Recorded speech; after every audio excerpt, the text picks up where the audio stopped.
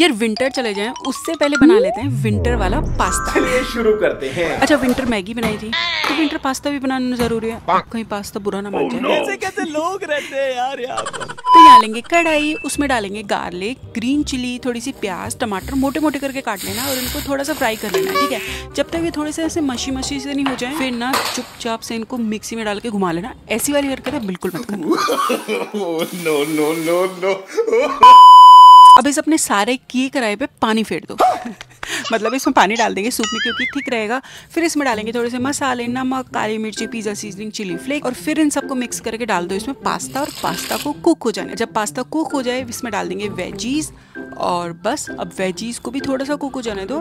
थोड़ा सा ही मतलब ज़्यादा नहीं क्रंच क्रंच रहना चाहिए। और बस आपका एकदम विंटर वाला पास्ता रेडी हो गया है। बहुत सूपी और बहुत बहुत मज़े का लगे।